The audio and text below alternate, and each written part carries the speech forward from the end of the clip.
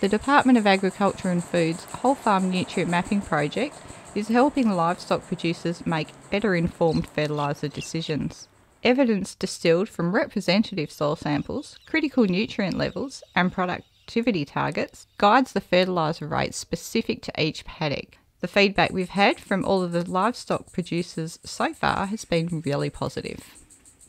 Well, we first got involved in the 80s with, um, with the Ag Department. Um, at the time, we're doing free soil testing, and the results from there were very positive for us. And when the Ag Department approached us again in 2010, wanting to know whether we would be involved, wanted to be involved again, and we were quite happy with that. We agreed, and, and um, and that's where we are at the moment.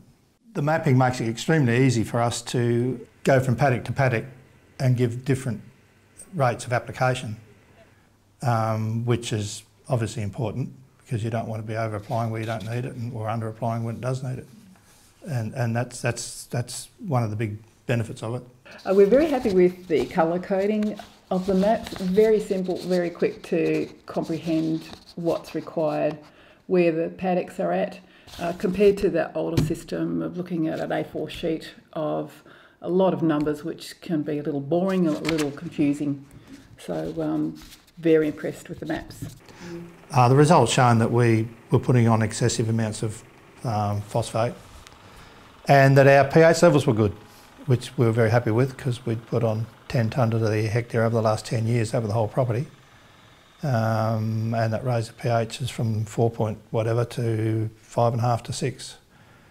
Um, so we're very happy with that. It, has allowed us to um, reduce our lime spreading, I suppose, um, to maintenance level rather than trying to build up the pH. So we now know that we can only, only have to put on half the lime at the most uh, per hectare um, to just maintain the pH levels that they are now.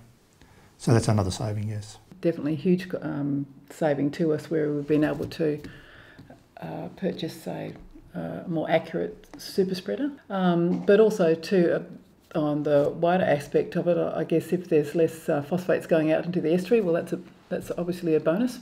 With our farming enterprise, um, we, we really are very appreciative from the testing that we have had done to the ag department and we wouldn't certainly wouldn't have done as much testing ourselves. No. Um, but um, yeah, we're very appreciative of the offer. The fertiliser bill for the Birches farm was previously about $20,000 a year, and having been involved in the whole farm nutrient mapping, it saved Ellie and John nearly $9,000. Part of the money that had been saved was spent on lime. Retargeted application. Because every property has different requirements, where some are deficient in potash or require lime to correct acidity, the Whole Farm Nutrient Mapping project allows you to make informed decisions which can really only be made through soil testing.